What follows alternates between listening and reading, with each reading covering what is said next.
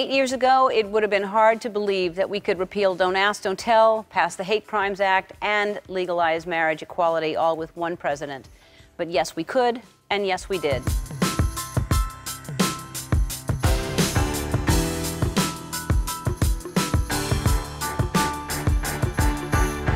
President Obama, we are all so grateful for everything you've done in the name of equality, kindness, and love.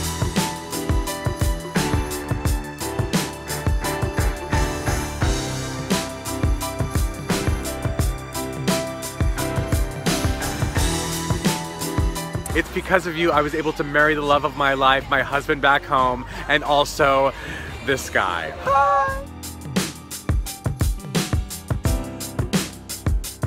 Thank you, President Obama. Because of you, I got to marry the girl of my dreams.